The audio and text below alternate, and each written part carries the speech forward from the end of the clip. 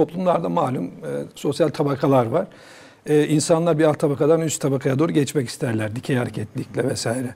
Şimdi bunu yapmanın türlü yolları var. Madem ki tüketim endüstrisinden bahsediyoruz. O zaman mesela belli bir tabakanın tüketebildiği e, ürünleri aşağıdaki tabaka tüketemiyor.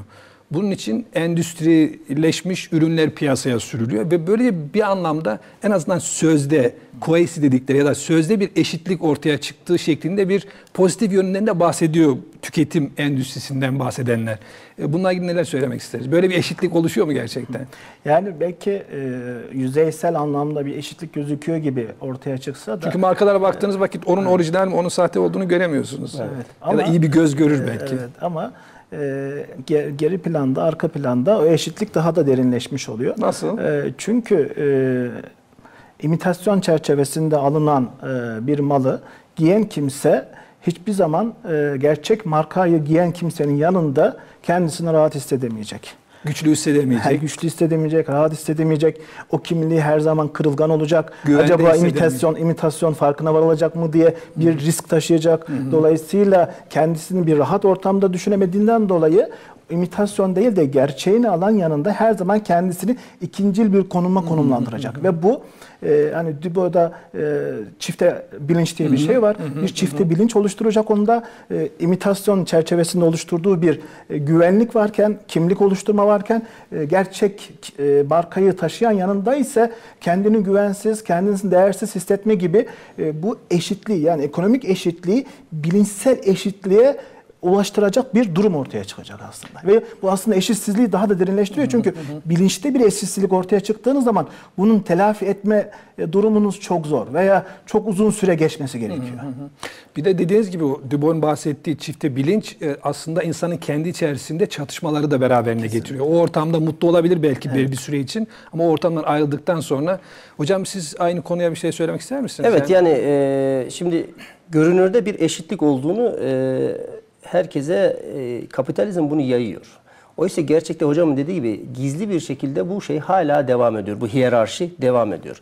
Bunu nasıl gerçekleştiriyor? Mesela bir firmanın reklam şeyi aklıma geldi. E, şöyle diyor. İyi giyinmek herkesin hakkı. Eyvallah. Burada yani iyi giyinmek herkesin hakkı dediğin toplumdaki herkesi eşit mesabede gördüğünü iddia ediyor.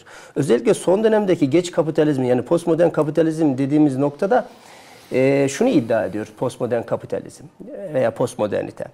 E, toplumsal alandaki tüm varlık hiyerarşilerini ve toplumsal tabakalaşmayı ortadan kaldırdığını, hiç kimsenin kimseye üstünlüğünün olmadığı imajını oluşturuyor. Bunu oluştururken de ne yapıyor? Bütün e, kapitalizmin o bahsettiğimiz az önce bahsettiğimiz dar boğazdaki sıkıntısını aşabilmek için müşteri portföyünü, tabanını daha da genişletiyor.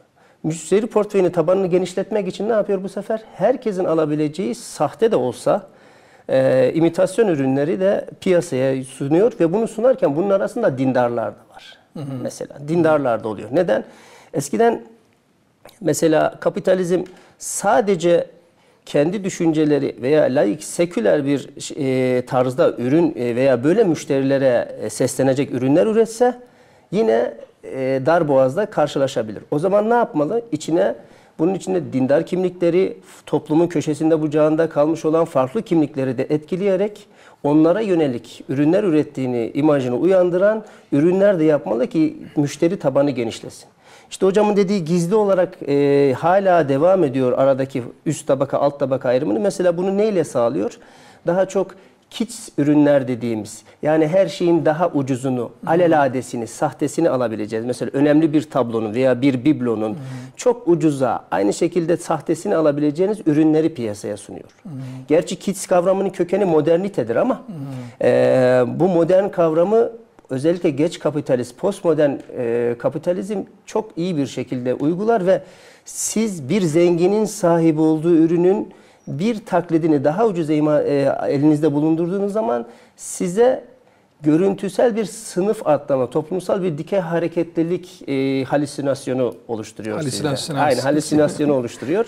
Ve siz de böyle mutlu oluyorsunuz. Oysa üst tabaka her zaman alt tabaka ile aradaki mesafeyi korumak için devamlı gayret içindedir.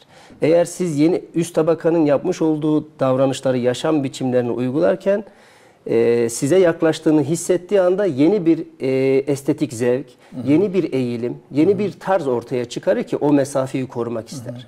Mesela biz zenginlerin daha doğuştan aristokratların falan sahip olmuş olduğu atalardan yadigar olan o değerli kıymetli eşyalara şeyle patina diyorlar mesela patina. E, bir patina ile kis ne yapar? Birbirinizi biri üst tabakayı temsil eder patina, kis ise alelade taklidi temsil eder. E, işte siz aldığınız zaman böyle zannedersiniz ama devamlı olarak o mesafe korunmak ister. Bazen mesela bunu gündelik hayatta da görürsünüz. Gündelik hayatta bankalara gittiğiniz zaman bankalar size kredi kartları dağıtır. Kredi kartlarına bakarsınız biri işte gold kredi kartı, biri silver, biri ise platindir. Aslında bunların her birinin adı, her biri aslında siz o kartı aldığınız zaman ha, kendi tabakanıza göre bak bana gold kart ver, bana silver kart verdi. En üstünde platin kart vardı. Size o aldığınız kredi kartı sanki farklı üst tabakanın bir yani üst tabakadaki sınıfa dahil olduğunuzu, yeni bir aidiyet grubunuza grubuna girdiğinizi düşüncesi oluşturur sizde. Eyvallah. Yani arzularınızın üzerinde oynar. Yani işte modern tüketimden ayrılan noktası bu. Belki modern tüketim akılcıl bir süreçte ihtiyacınızı bir şekilde akılcılaştırarak karşılıyor ama e, po- postmodern tüketim şeyindeyse sizin doğrudan arzularınıza, sufli duygularınızı öne çıkararak yeni bir kimlik oluşturma. Burada gösteriş Gösterişe de ister noktasına istemez doğru. geliyoruz. Evet.